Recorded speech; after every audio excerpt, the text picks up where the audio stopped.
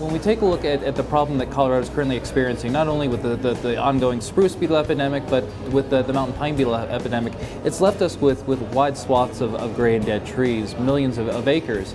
We're looking at, at, a, at a problem, and, and, yes, it is a problem, but it's also an opportunity, and the, dividing line between those, those two areas is, is awfully thin.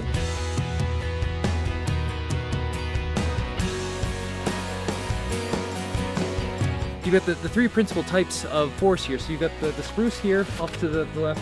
Right behind it you have subalpine fir, and then you have the dead and dying lodgepole pine. So what you're seeing here is part of a, a millions of acres of dead lodgepole pine tree killed by the mountain pine beetle. This epidemic was, was relentless, began in the late 1990s, and to the most part it's leveled off simply because the mountain pine beetle has, has eaten itself out of house and home. Uh, but there's still still some remnants here and there. We're, we're not completely we haven't completely lost the species. You can see some uh, around us tiny trees that are, are starting to, to, come back up, but the, the mature, we're looking at uh, the, the death of, of uh, most, if not all, mature lodgepole pine trees in the uh, northern Colorado, southern Wyoming area.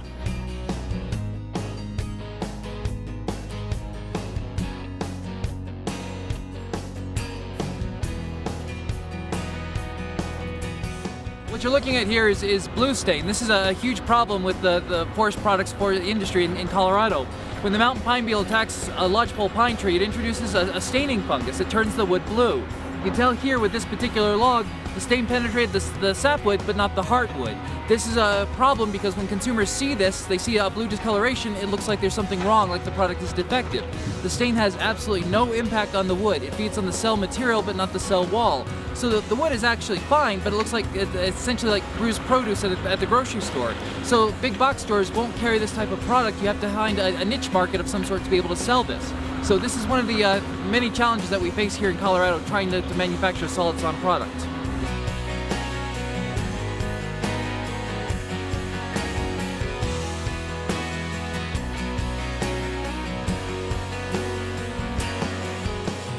We got to continue to do research and we've got to continue to look at how do we use the feedstock that we, the feedstock should go to its highest and best use.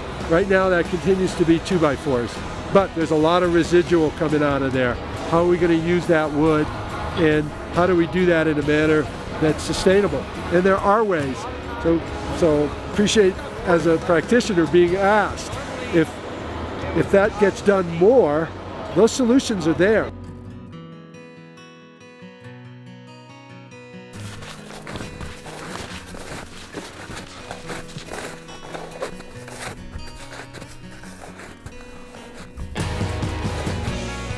At uh, wood production biomass, these are jobs that can't be outsourced. Uh, you know, if you, you install solar panels, solar panels there, you install the wind, tur uh, wind turbine, the, the turbine turns.